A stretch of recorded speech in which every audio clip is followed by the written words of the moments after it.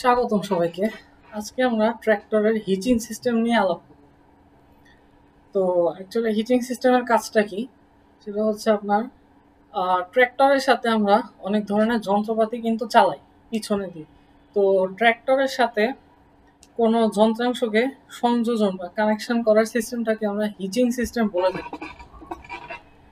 এখন হিচিং কারণ এইটার দরকারটি হচ্ছে আমরা ট্র্যাক্টর শুধু জমির উপর দিয়ে চালানোর জন্য ইউজ করি না। ট্র্যাক্টরটা আমরা বেসিক্যালি অনেক ধরনের যন্ত্রাংশ, যেমন সোজা কথা লাঙল। লাঙলটাকে কিন্তু আমাদের জমির উপর দিয়ে চালিয়ে যেতে হয়, জমি চাষ দেওয়ার জন্য। এই জন্য কিন্তু আমাদের হিচিং সিস্টেমটা খুবই জরুরি। এখন আমরা আসি যে, এই যে হিচিং সিস্টেম এটি আসলে কয় ধরনের? হিচিং সিস্টেম আছে মূলত তিন ধরনের।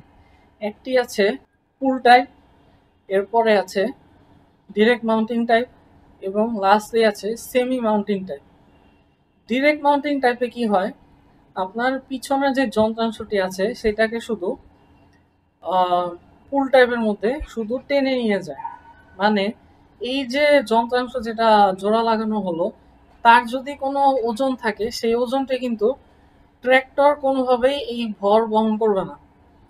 ট্র্যাক্টর শুধু এটাকে টেনে নিয়ে যাবে সামনের দিকে। এইটাকে বলা হয় পুল টাইপ এবং পুল টাইপের মধ্যে একটি ড্রবার থাকে যার সাহায্যে আপনার এই যন্ত্রটিকে সংযোজন করা হয় ট্র্যাক্টরের সাথে এবং সামনের দিকে টেনে নিয়ে যাওয়া হয়। এরপরেই আছে আমাদের direct mounting type direct mounting টাইপের মধ্যে এই যেই যন্ত্রাংশটি ট্র্যাক্টরের পিছনে লাগানো হয় বা কানেকশন দেওয়া হয় সেটি পুরাটা ওজনই কিন্তু ট্র্যাক্টর বহন করে। তার মানে ট্র্যাক্টর এটিকে যেমন টেনে নিয়ে যায়, তেমনি করে এটার পুরোটা ওজনও ট্র্যাক্টর ছাপে নিয়ে তারপরে সামনের দিকে যায়। এই হচ্ছে ডিরেক্ট মাউন্টিং সিস্টেম এবং এর মধ্যে তিনটি লিঙ্কেজ দিয়ে যদি আমরা এই যন্ত্রটিকে ট্র্যাক্টরের সাথে জোড়া লাগাই, তখন তার নাম হয় থ্রি পয়েন্ট হিচিং সিস্টেম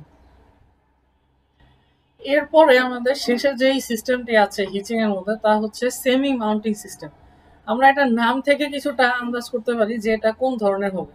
এটি হচ্ছে আপনার pull type pull type system এবং ডিরেক্ট মাউন্টিং সিস্টেমের একটি মিশ্রণ।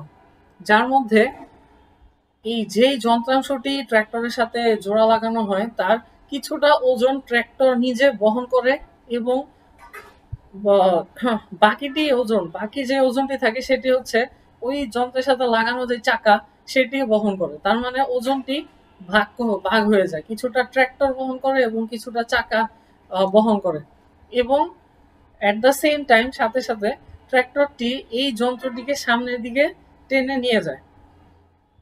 তো এই হচ্ছে আমাদের মোটামুটি হিচিং সিস্টেম এবং হিচিং সিস্টেমের মধ্যে আমরা দেখলাম যে এটি খুবই গুরুত্বপূর্ণ একটি ট্র্যাক্টরের সিস্টেম অ্যাকচুয়ালি এটার জন্য আমাদের ট্র্যাক্টরটা আমাদের ধানের জমির কৃষকরা ট্র্যাক্টর কিনে থাকে, কারণ তারা হাল চাষ করবে জমিতে পানি ছিটাতে পারে, জমির মধ্যে সার দিতে পারে বা কীটনাশক এগুলো ছিটাতে পারে। অনেকগুলা কাজই কিন্তু এই ট্র্যাক্টর দিয়ে করা সম্ভব। সো এই জন্যই আমাদের হিচিং সিস্টেম খুবই জরুরি এবং আশা করি আপনারা সবাই এই হ্যাঁ ভিডিওটি থেকে কিছু জিনিস শিখেছেন হিচিং সিস্টেমের ব্যাপারে এবং এটি আপনাদের ফিল্ডে কাজে ভালোভাবে লাগাতে পারব। সবাইকে ধন্যবাদ।